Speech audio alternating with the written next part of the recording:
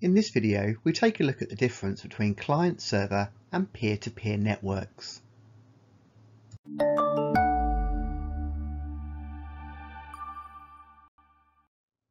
With a client-server network model, a server controls access and security for a shared file store.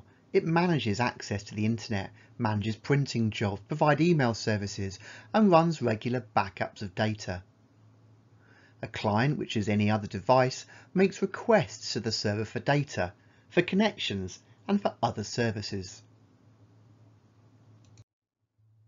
There are several advantages to a client-server model. It's easier to manage file security, it's easier to back up shared data, it's much easier to install software updates to all computers at once. There are some disadvantages. It can be expensive to set up and maintain and typically requires IT specialists. The server obviously is a single point of failure and users will lose network access if the server fails. Client-server networks are therefore best suited to organisations with a large number of computers or situations where many computers need access to the same information. The system you have at your school is most likely a client-server based model. With a peer-to-peer -peer model, a peer is a computer connected to a network. A peer is equal to all other peers. Peers are responsible for serving their own files to each other, and each peer is responsible for its own security and data backup.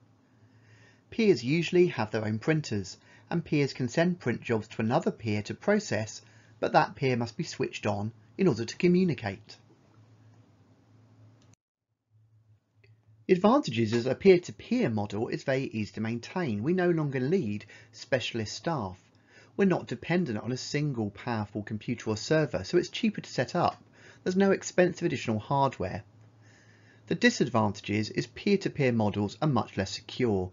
Users are now responsible for backing up their own data, and it can be difficult to maintain a well-ordered file store.